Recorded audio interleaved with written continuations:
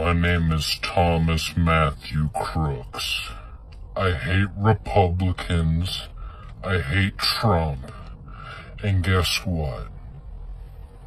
This is a follow-up to my worldwide award-winning video titled Mistake Happy. This woman claimed she sat in a bleacher that was directly across from the media area.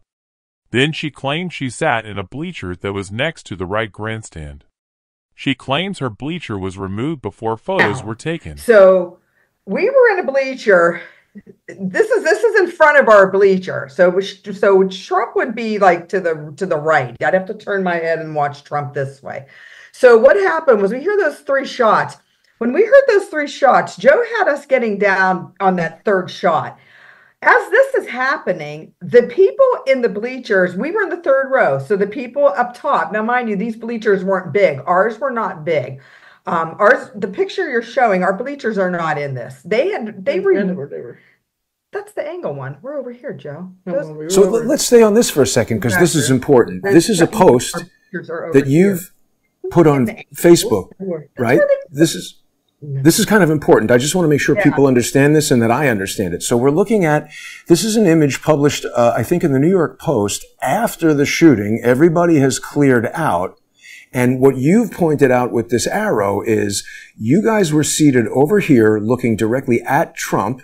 So you were not in the bleachers where Corey Comparatore and these other people are. No, they were. That's where you had to get this no, guy in no, the no, suit to bring you. We had to get the guy in the suit to go over there. We were right, right here in here, Joey. Yeah, we were. I was looking at the screen behind us. Yes, we were. So where is it that you guys were? Th- Trump, this, right? This is yeah. Trump on this. This is the we're sound and the media the right here in the middle. Trump yeah. was standing right here in the red box. Where would you guys say that you were? We wanted to sit here. Remember, I said to you, I want the guy to sit us there. What happened? So you guys were in here, right? Somewhere, Joe. What do you think? I lost you. Okay, I lost you. There you go. You got me. Yeah. Okay. So, okay. Joe, where do you say you guys were seated? I, I say we were, we were in those bleachers right here that are missing. Yeah. The missing. There ones. were bleachers there. So, but the arrow is pointing to the proper section. Some of the people in our comments are saying, "Oh, that's not where you guys were sitting," and this and that, because there are no bleachers here. But to clarify, Donna, what is what does this picture show us? Time frame and everything. So in this picture, so where I'm pointing that's where people were standing. I mean, guys, it was an arrow on a phone. I'm not, you know, you've seen my drawing. But okay, you see this white building? Yes. We would have been in front before the white building, closer to the stage and closer to that angle. Really, where Trump got carried out. You go you go look at that angle. Yeah, where Trump got carried out, right there. It's before this white building is all where the bleachers were. So and if, if I understand you correctly, we see you can almost see those bleachers where the grass was. Uh huh. So you're saying we see one, two, three sets of bleachers here, and you're saying there was at least another one on this side Bingo. that is not shown in this photograph where all these satellite trucks are and everything. That's correct. At least, and there was it, two sets because we. When I say we were in the third row, first two seats, that was where the bar was, but there was a bar, you know, next to it, and there was people in those bleachers going towards closer to Trump. So we were like, it, somebody said there was three sets there. I didn't go all the way down close to Trump. I was in the third set. So you know, one or two we, at least. And Joe, yeah. you concur with that? Do you agree with what your mom remembers? I mean, I, I, I thought we were in the other ones, but I guess so. But there were bleachers here, and you guys were in the bleachers, and now they're gone from the photo. Is that correct by your recollection? Yeah, we were around that area. So it's odd that these bleachers would be removed and these other ones haven't been, right? Well, and the well, and you're looking, and when you look at where our area is, right across there is the media. That's what that big blue thing is, or it's sort of bluish. Yeah, that's where the media was sitting in there. So that's so they were. That's go right across from there. That's where I would, if I took a picture right across from me, that's what I got the media. That's where the bleachers right. were. No, this woman and son did not sit in some imaginary bleacher across from the media area. This woman sat in the right grandstand. This woman claims a woman and man were shot in the right grandstand. No, David and James were shot in her grandstand. This woman ducked when shots were fired. She didn't even look up until after David was removed from the grandstand. She didn't even stand up until after David and James were already removed from the grandstand. Her son was looking up at the area where James was shot. He claims a man was carried out by one leg. He's confused with what he saw that day and what he saw on TV and in videos. The man carried out by the leg was Corey, and he never saw Corey being carried out by the leg that day because he wasn't in the same grandstand. He didn't even look at Corey's grandstand to see Corey carried out. So here we get a good idea of where you guys were seated because we see the flag hanging and we see the bleachers right. and one of these signs. So this is sort of basically where you were on the side. Yeah, we were on the side though. We're definitely on the side because what happened? There was three those three boards. There was one behind Trump. There was one over on to the uh, right of him over the media, and then there there was no big screen above Trump and the center grandstand as this woman falsely claims. And that's not Corey Comparatore, David Dutch, or nope. James oh, Copenhaver. and as you know by seeing me on the news, we thought at the time it was Corey because that man was dead. At least we think, right, well, Joe? We think. Here's my thing. So we had two people down our section. One was carried on a stretcher. The other had a towel over his head and was carried by one arm and one leg. Not by his arms and legs. One arm, one leg, and just left to dangle. Seems dead. right. You don't carry someone alive out like that. Correct. Again, he is confusing what he saw on TV with what he saw when he was there. Corey had the towel over his head. Corey was carried out by the leg. And Corey wasn't in the same grandstand as this woman and her son. And her son never saw Corey being carried out. Correct. I agree. If someone's alive, you're not going to put a towel over their head and just carry them by one arm or one leg. So that's no, why we'd be careful with a stretcher. Mm-hmm. Yeah. Wow. Okay. Yeah. So, so back to your go, photos. Now we go. Now we go home and we watch the news that night, right? And you know, you hear about Corey, so we obviously made that assumption it was Corey because we're pretty sure clear this person's gone. Now I, I watched a documentary, told Joey to watch it, I don't know, about a month ago, and we find where Corey was sitting in the grandstands behind the president. Yeah. So now it's like, here we go again. Who are these people? Who were they? The lady went right by us on the golf cart, the woman did. The two people in her grandstand were David and James. How could she not know this by now when the shooting is almost two months old? That's the picture. So we're there. That's the picture. So this That's doesn't look like an ambulance EMT. Who is this guy? No idea. No idea either. Some kind of military EMT. Around him, so you can't really see the body, but that's where he was. That's where they. That's exactly where he was. Like I said, they brought him out, one arm, one leg, and they just dragged him right into that field. No, Corey was brought out by one arm and leg. This is David Dutch, and David walked out of the grandstand. David was treated on the ground. This is the four-wheeler and stretcher arriving for David. Then David was stretchered off on the back of the four-wheeler. David was then taken to the hospital by helicopter.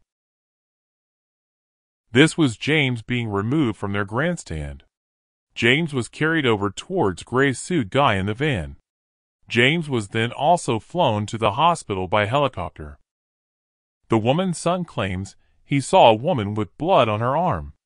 No, he didn't. No woman was shot on this day. This woman passed out, and she wasn't shot like this man says. Again, the woman's son is confusing what he saw on TV with what he saw there that day. This passed out woman isn't even in the same grandstand as the woman and her son. This man claims that he carried Corey out of the grandstand. He's lying. It seemed to me the man got hit in the head from behind. Um, he was killed instantly, as far as I could tell. And at that point, state police and a SWAT team, you know, showed started evacuating the bleachers, and then I helped carry the man out of the bleachers to a tent that was behind um, the bleachers. You helped carry the man yourself. What was his condition when you were carrying him? He's deceased. He also falsely claims that he saw a woman who was shot in the forearm and hand. And you said there was another woman nearby who was also injured. Where was she in relation to him? I believe she was in the bleachers, like either behind, above me, or just to the side of him. But it seemed like she was kind of at my flank, and then she flinched, and it looked like she had taken a gunshot wound to the forearm and hand. She was hit within the first seven shots. I counted the first seven, they were very loud and very close. Um, and it killed one man and wounded another woman. first seven shots that went off, the man got hit. He was killed almost instantly. The woman in the bleachers, she got injured, like she got hit in the forearm and the hand. Despite the video proving that he's lying about carrying Corey out of the grandstand, some people in my worldwide award winning comments section continue to say this man isn't lying. It's simply unreal. This man also claims that he sat in Corey's grandstand, and he was only a few yards away from Corey, but I can't find him anywhere in the grandstand. So where are you sitting in this grandstand, Dr. Liar? He said he was sitting a couple of yards away from Corey. He had a red shirt, a hat, and shorts on party people. So where is he? Do you see him? I'm now going to slowly pan to the right in the grandstand, and he's not there either. Please hit the like button party people and subscribe if you aren't already a subscriber. Rico said people were passing out from shock, and this woman you will see only passed out. There were kids who were just staring because they were in shock and awe about what happened, what's going on. That I had to pick kids up and carry them down the steps, and their and their parents. I mean, me and other people, we picked up grown adults, put them on our shoulders, and carried them down the bleachers because they were just in shock. Rico helped carry the woman out, and she wasn't shot. Otherwise, Rico would have talked about her being shot when he did several different interviews. The doctor said he saw a woman in Corey's grandstand shot in the forearm and hand. There would be blood on this woman's hand and arm if she was shot. Then, while making this video, I spotted this out of the corner of my watering eye. Seriously, I had to rub my eye for a second. Then when I focused again, I saw it and said, what the fuck is that? If that's not a red watch or bracelet, then there is blood on her right wrist. So maybe she was shot. Or maybe she cut herself when she went down after the shots were fired. But yeah, party people, that could be blood on her right wrist. This blood doesn't prove that she was shot though. And it doesn't prove the woman and her son saw the blood on this woman's wrist because this woman is in Corey's grandstand while the woman and son are not. Before Rico helped this woman out of the grandstand, Rico helped Corey and this blood stain is not from the woman's right wrist that he helped out of the grandstand because the blood stain is already on his shirt before he carried the woman out. Rico has no blood on his right shoulder or on the right side of the front of his shirt after carrying her out of the grandstand. So was she wearing a red watch or red bracelet on her right wrist or was it blood? You decide party people. Another viewer on my channel named Tim thinks this woman was shot and carried out. No, I've already shown this woman twice in my videos. This woman also passed out from the heat.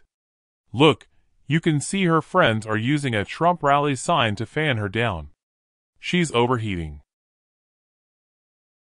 And since her friend managed to cool her down enough so the woman could be taken out with a little help, it proves that Trump signs are more valuable than just being a campaign sign.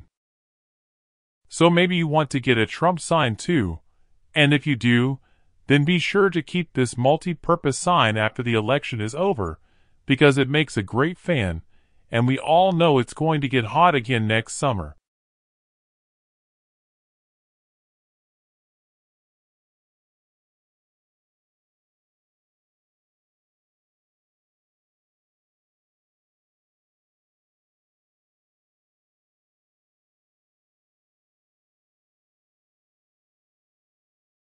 That slippery rock Mayor John David Longo helping to take the woman to the tent behind the grandstand. But she was not shot. This video footage is 13 minutes after the shooting stopped. Do you really think she sat there shot for 13 minutes before her friends, including a mayor, finally got her help?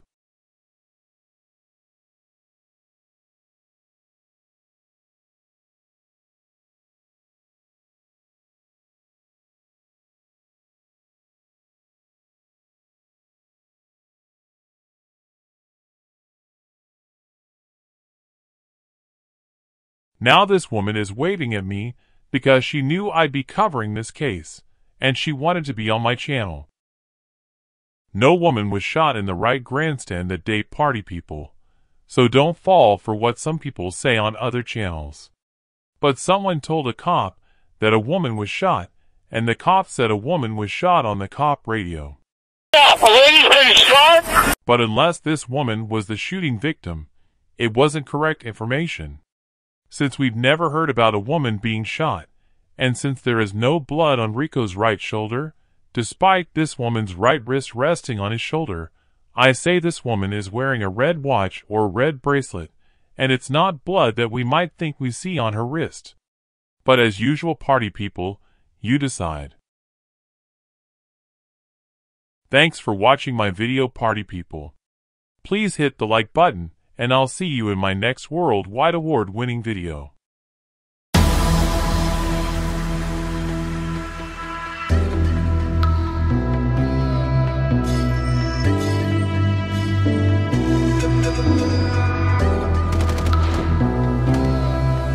You know what really bugs me party people, non-subscribers, who watch my videos and don't give it a thumbs up, and people who don't watch a video until the very end. This is bonus hidden coverage for those that stuck around to the end. This man was a plant party people. He lied when he said he helped Corey out of the grandstand. He claims he was a few yards away from Corey. As I showed you, he wasn't even in the grandstand.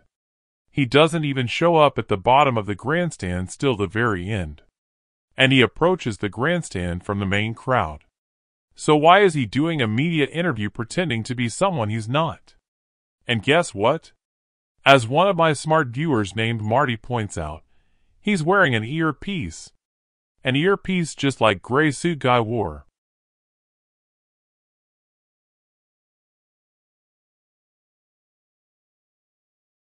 and as soon as he arrived, he starts barking orders to everyone, including to Golf Cap Girl. Golf Girl came from outside the grandstand and goes to Corey. So let's follow Golf Girl. She's right here to begin with. She looks down beside the grandstand where all her coworkers are, and next thing you know she's beside Corey.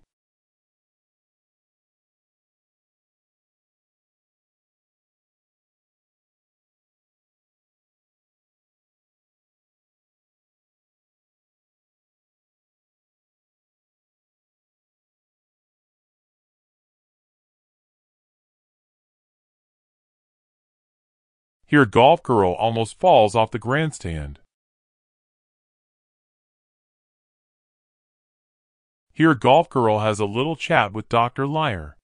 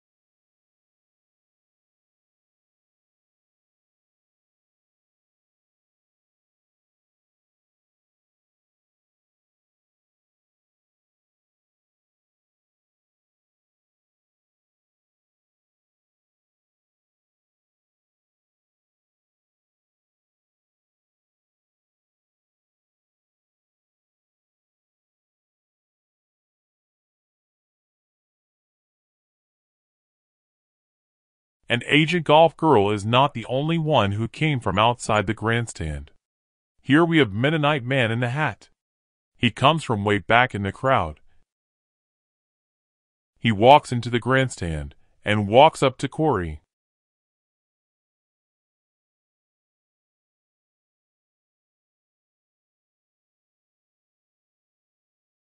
He is then seen helping a woman sit up. This guy in the gray shirt and Red Hat is another undercover, and he talks to Mennonite Man.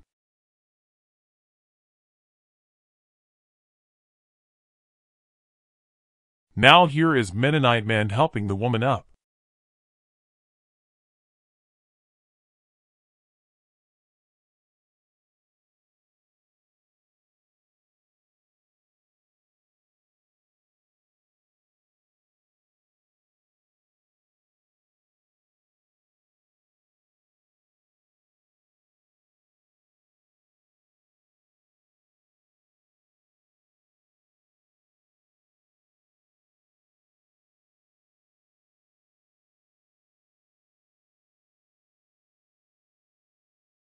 Then he is seen talking to the doctor and golf girl.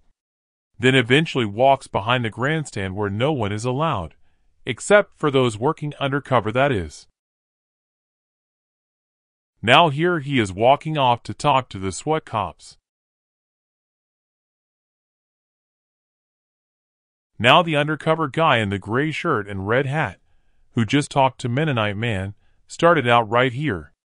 Then he works his way into the grandstand, and after talking to Mennonite Man, he just hangs out there doing nothing. Did you know that after high school, Thomas Crooks spent $5,000 to join a police training in Missouri, but only lasted one week? And did you know that I'd really appreciate it if you'd hit the like button and share this video with all your flick-friendly friends?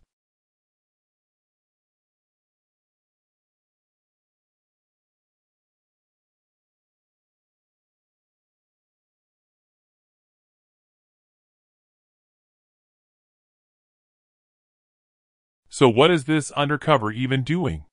He worked his way into the grandstand, and now he's just sitting there doing nothing.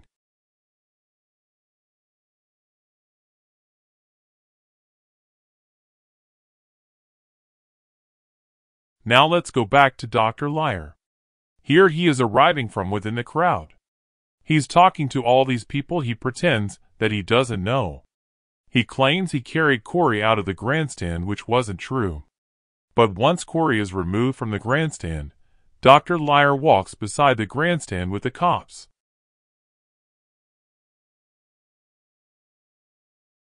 Once on the side of the grandstand, Dr. Liar talks to this guy.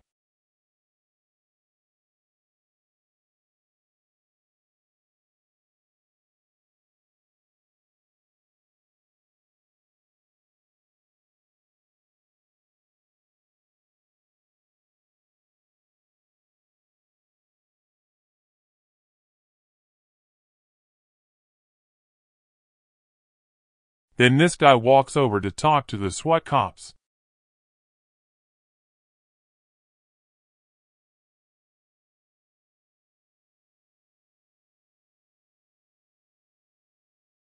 Now we see Dr. Liar telling Rico what to do while they are beside the grandstand.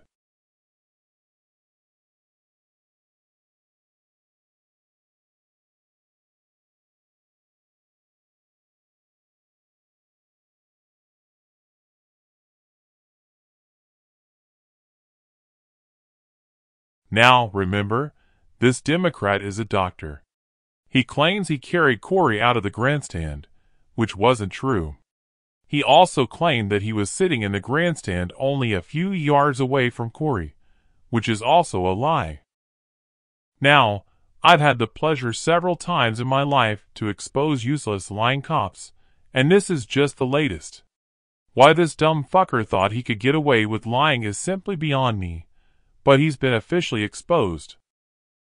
Now, as you watch this Democrat lying doctor standing in the main crowd, listen carefully to what he has to say. I helped carry the man out of the bleachers to a tent that was behind um, the bleachers. You helped carry the man yourself. What was his condition when you were carrying him? He's deceased. He died. How close were you to him? Uh, couple yards. You said there was another woman nearby who was also injured. Where was she in relation to him? I believe she was in the bleachers, like either behind, above me, or just to the side of him. But it seemed like she was kind of at my flank, and then she flinched, and it looked like she had taken a gunshot wound to the forearm and hand. Uh, First, I was in shock because I, I know what gunshots sound like, so I knew they were gunshots. I just I couldn't tell from where they were coming from. And when I noticed someone got hit, then I noticed, well, it seemed like they were coming from behind me. So they didn't really need me, so I kind of helped carry him down initially out of the bleachers. Um, so he's directly facing it. again, it seemed to me like the shots were coming from the rear, like behind us. Everyone, I think, got a sense. Like when I looked out into the crowd, I think they were, again, my sense was they were being shot from behind, so they sounded a bit muffled. Thank you, Mr. Marty, for your sharp eye and amazing detective skills. Now, as I just showed you, Dr. Liar appears to be wearing a drone logo on his polo shirt. A drone was seen flying by several times, and is Dr. Liar holding a drone controller when he was in the crowd? You decide for yourself, party people. You just experienced something horrific. Yes. What What can you tell us about your state of mind right now? Yeah, you know, I, have I've had opportunities to go to these rallies before. It's the first one I ever went to. I Had you know time off to go do it. I was kind of excited to go, but you know, it's you know everyone everyone it, you know it's it's something you don't expect. It comes out of the blue. It's like a bolt out of the blue, and it's just it's shocking. Um, you know the way politics goes in this country, it just seems like it's really polarized. Everyone's just very angry. I'm honestly shocked this didn't happen earlier. Um, I was commenting to my friend and went with the to the event with me. I was like, you know, you know, the back behind the bleachers, it's really open. It seems like a really open venue, and it just, you know, I, I got this sense that you know, someone really wanted to do something. And again, I, I was openly talking to her, and I was like, you know, if something was bad was going to be happening, this is the perfect venue to have. I just said this like an hour before it happened. I was like, this would be the perfect place to do it. Thank you for watching my video and sticking around until the end of it. Please hit the like button, leave some comments, share the video, and I'll see you in my next amazing worldwide award winning production.